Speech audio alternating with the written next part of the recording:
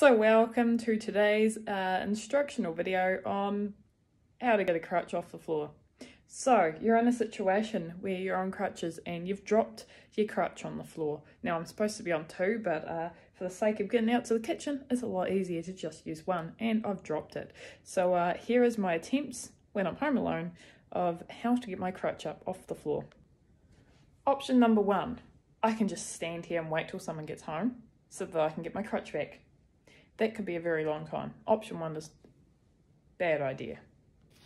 Option two is to locate the crutch, locate myself, and um, work out how I could possibly get to it. Now bending down and picking it up would be logical, but I cannot do that.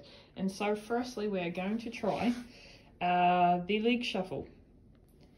Here is the leg shuffle. Thankfully we've got a bench here so the bench can operate as a crutch potentially it could get me to my other one.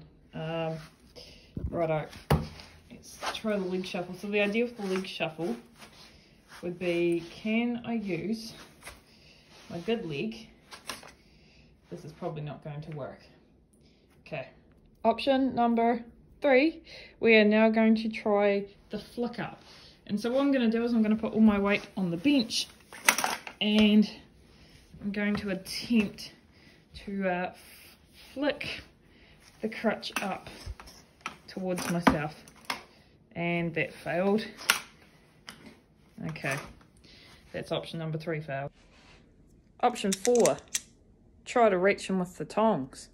Success with option four is going to be firstly to rotate the stick and see if I can just get enough and look Haha, there we go. And so option four was successful. If you ever drop your crutch on the ground, just find a pair of tongs. Done. So that is the end of today's instructional video on how to pick up your crutch when you drop it. Um, I hope you enjoyed that and uh, yeah, I guess back to making my lunch now.